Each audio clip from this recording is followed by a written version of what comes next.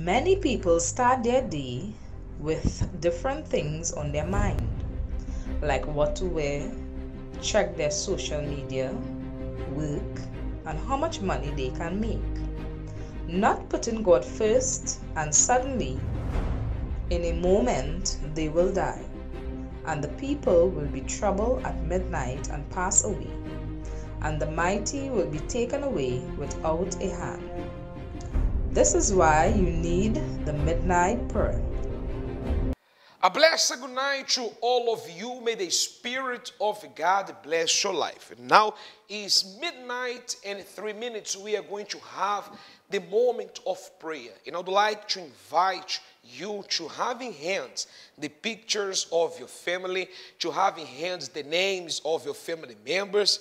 Uh, a while ago, we had our uh, nine o'clock prayer when we pastors, we determine the transformation of your family members. As a matter of fact, we are in this week that we are praying on behalf of our loved ones, all right? So if you have the pictures, if you have the names, hold it today in your hands because when I return after this powerful testimony, I am going to pray for your family and also for you.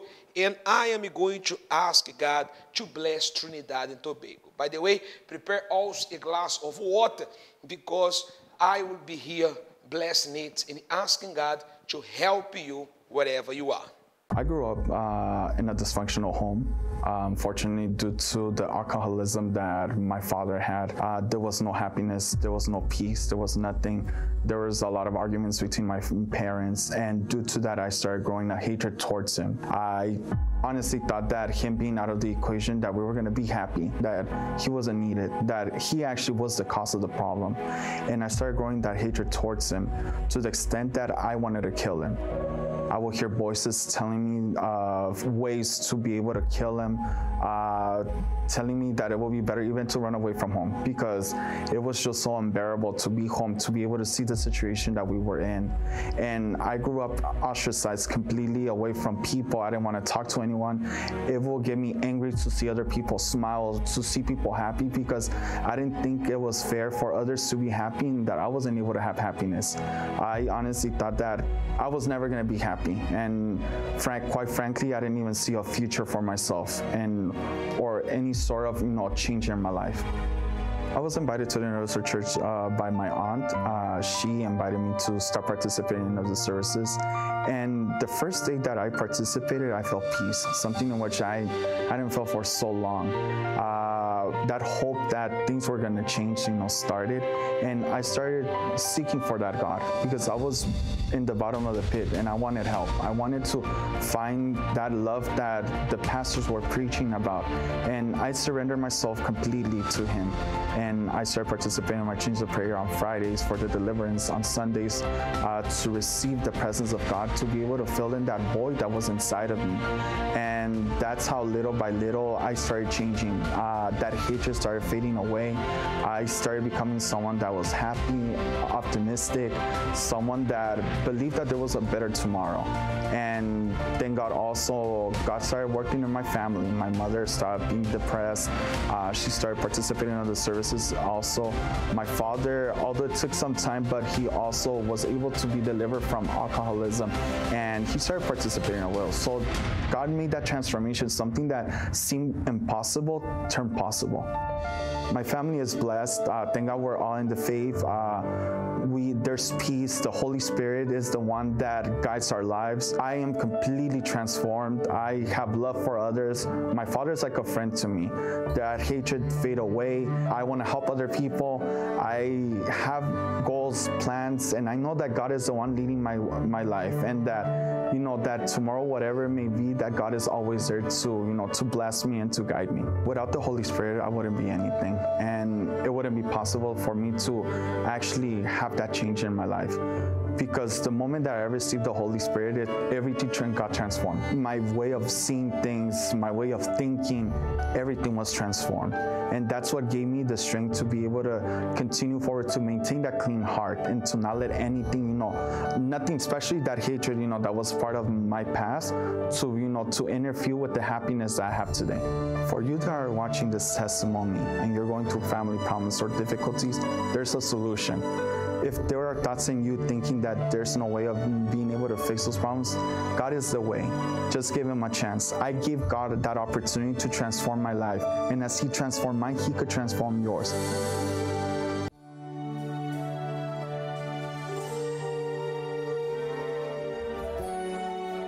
Prayer is our communication with God. You watched the testimonies, you heard the word, but now, please close your eyes and prepare for the moment of prayer.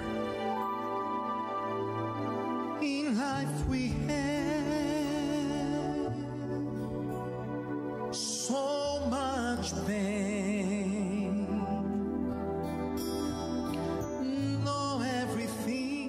Our Lord and our Father, in the name of your Son Jesus, I ask you, my Lord, for you to set this person free from whatever sickness, whatever disease, whatever evil that have been fighting against this person, especially those, my Lord, that cannot sleep well during the night, those who are stressed, those who are depressed, so many problems this person have been going through.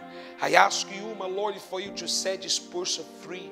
I have in hands the glass of water as this person they have theirs. And I ask you, Lord, for you to sanctify this water with your power.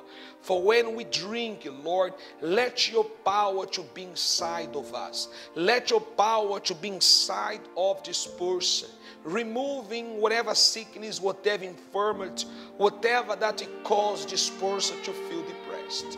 I also pray on behalf of Trinidad and Tobago. My Lord, so many bad things have been here uh, in this day, so many, my Lord, crimes, so many murders, domestic violence rates have been increasing daily.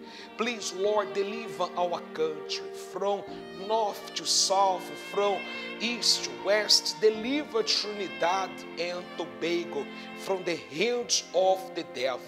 My Lord, while many Trinidadians are sleeping, many Tobagonians are sleeping, we are here, Lord, calling upon your name.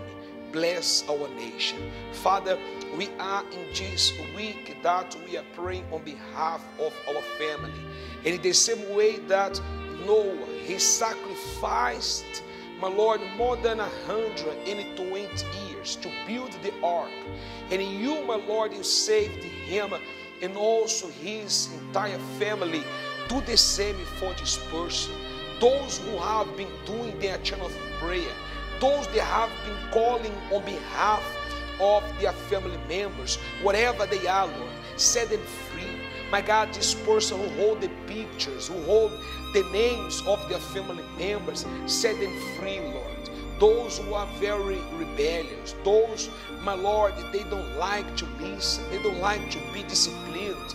Those that have been falling bad people, my God, visit them right now and set them free. Those who are addicted to marijuana, to gambling, to cigarettes, they have their family to take care. However, they have been taking bad, my Lord, bad steps. They have been falling bad people. Set them free, Lord. Deliver them. Those who are unemployed, open a great door for them. Those, my Lord, they are in need of a, a love life breakthrough. Please, Father, I ask you for you to visit and help them. Protect our family my Lord, save our house. Bring peace to this family. Bring joy to this house. Bring prosperity. And above all, Father, bring salvation. Save them. We don't want to lose our family member at. We don't want, my Lord, there to lose their salvation. My God, I surrender their lives into your mighty hands. Again, I ask you, consecrate and bless this glass with water And those who believe says amen. Do you believe?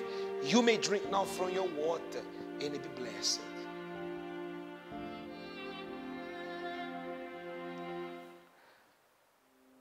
Amen. Very well, friend. I do believe that you are blessed and also your family is blessed by the power of God. Let us continue every night, every midnight, also 9 p.m. to pray on behalf of our family, on behalf of Trinidad and Tobago. This country here needs a lot of prayer, and we are going to pray we are going to always asking God to heal our land, right? If you'd like to speak to one of us tomorrow, better say today, throughout of the day we are going to be here, especially today that is a day that we dedicate more to pray for the family. We are going to be here at 6 o'clock, 10, 12 p.m., 3 in the afternoon, most especially at 5. The last one is going to be at 5 o'clock. Only today, the last one is going to be at 5 o'clock, right? Before I go, let me show to you what took place last week, Friday, with the challenge of the cross. And this Friday again, we are going to be together, challenge God on the cross, and for sure, He will set you free. As for me, I wish you a wonderful night. God bless you. See you here at the Universal Church. Challenge of the Cross. A service of deliverance and freedom. Many people are being set free. Yes, what's your name? Natasha. Hi, Natasha. What problem did you bring at the foot of the cross today? Well, I was feeling weak and um, sick. Yeah. How long have you been feeling this way? A long time. A very long time. But when you came to this chain of prayer at the foot of the cross, you received healing. Yes, I received healing, yeah, and I'm feeling much better now. You feel much better. Will you continue in this chain of prayer? Yes, I will. Okay, thank you for sharing with us, Miss Natasha. Hi, Miss. What's your name? Marva. Hi, Miss Marva. What problem did you bring at the cross today? I had a back pain for more than a week now. So when I touch the cross, I feel something just disappear from me. And I said, when I start to rubbing my skin, I feel nothing. I said, what? So one week now you had this back pain. Mm-hmm. Yes, I could hardly even sit down properly or bend over. And now you can bend. Yes, I can. I can. And you could not do this before. Couldn't do it because it was pain. I had to go down. Will you continue in the chain of prayer? Yes, I will continue in the chain of prayer. Thank you, Miss, for sharing with us. See you next Friday. Challenge of the Cross.